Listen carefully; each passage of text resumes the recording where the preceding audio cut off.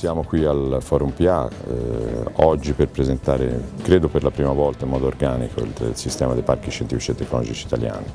È un sistema complesso, articolato, eh, diffuso su tutto il territorio nazionale che ha un obiettivo fondamentale, quello di aiutare la crescita basata sull'innovazione, sullo sfruttamento produttivo della conoscenza.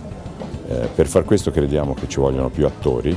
uno dei fondamentali attori è la pubblica amministrazione, l'altro è il mondo della ricerca e l'altro ancora ovviamente sono le imprese produttive. Ecco, i parchi possono rappresentare un perno di questo sistema nei vari territori e facendo sistema tra di loro e quindi collaborando tra di loro possono essere un fattore di accelerazione della competitività del sistema paese. Questo è l'obiettivo che noi abbiamo, questo è l'auspicio che noi eh, ci poniamo anche con l'apertura di questo confronto eh, che stamani mattina si avvia.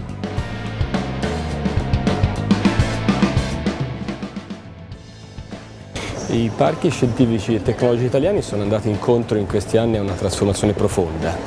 da strutture prevalentemente immobiliari e di accoglienza di imprese a strutture che sono in grado di offrire servizi a valore aggiunto molto sofisticati, sia sul versante delle nuove imprese innovative da incubare che sul versante dei progetti di ricerca e innovazione tra imprese e centri di ricerca. Eh, I dati che coprono il periodo 2004-2008 mostrano dei risultati molto interessanti, una crescita del numero di imprese di oltre il 60%, una crescita degli occupati,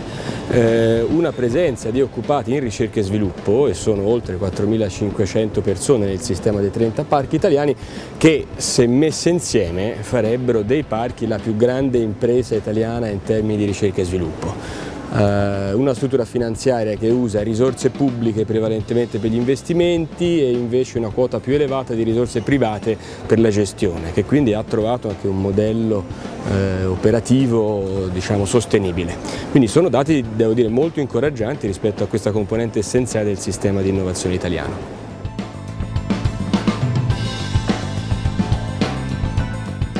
Nell'ambito delle attività del Parco Scientifico e Tecnologico di Navacchio abbiamo dal 2003 avviato un servizio di incubazione, incubazione che consiste nel dare supporto a nuovi imprenditori dal momento del concepimento dell'idea imprenditoriale fino ai primi due o tre anni di vita dell'impresa. Eh, in questi anni che cosa, abbiamo, che cosa, abbiamo, raggiunto, quali risultati? Abbiamo avviato ehm, una trentina di aziende, i risultati sono importanti perché queste aziende crescono, sono sul mercato e soprattutto queste imprese rappresentano un una fonte di rinnovamento dell'offerta tecnologica del parco tecnologico di Navacchio. Questo è un elemento molto importante, queste aziende crescono, si radicano sul territorio, eh, portano nuova occupazione, portano incremento di fatturato, quindi diciamo dei risultati importanti che poi per un territorio sono quello che, che è necessario.